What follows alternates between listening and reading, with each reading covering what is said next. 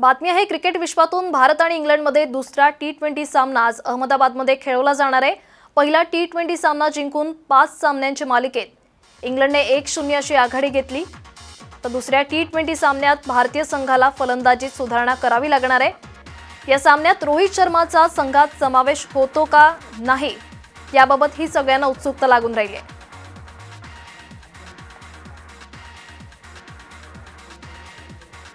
यासहित घेतो एक छोटा सा ब्रेक कुछ जाऊ नका पाहत राहा साम टीव्ही